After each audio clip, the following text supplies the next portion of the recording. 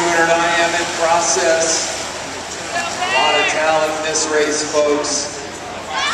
USC has Meghan Hawthorne in five. She was seventh in this event at NC2A's last year. Caitlin Leverenz in four, defending champ.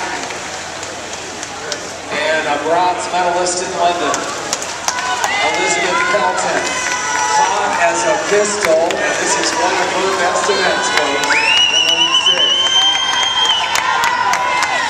Stina Gardell having a good day in lane seven for the Trojans. It goes without saying that California needs to score well in this event. Kelly Naze edging up nicely for Callan two.